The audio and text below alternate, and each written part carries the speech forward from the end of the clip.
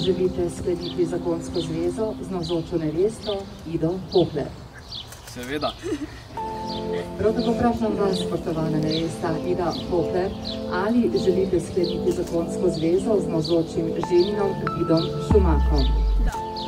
Ker sta pred pričami izjavila, da prostovoljno in sporazumno sklepata zakonsko zvezo, ugotavljam, da je vajna zakonska zveza sklenjena in pravno veljavna.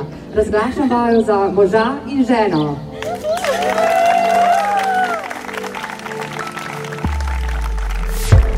I wanna tell you that I, I think you're looking just fine. I wanna tell you that I, I want you by my side.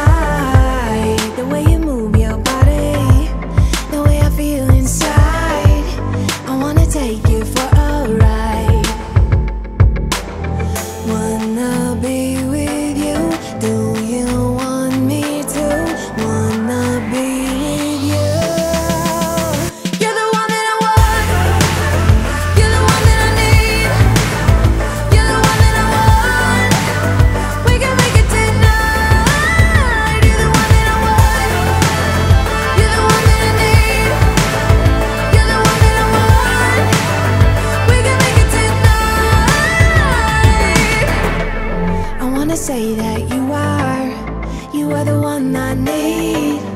I wanna say that you are the one who's making me breathe. I hope that you can stay here. Yeah, you can stay the night. I hope that you can stay with me. Wanna be with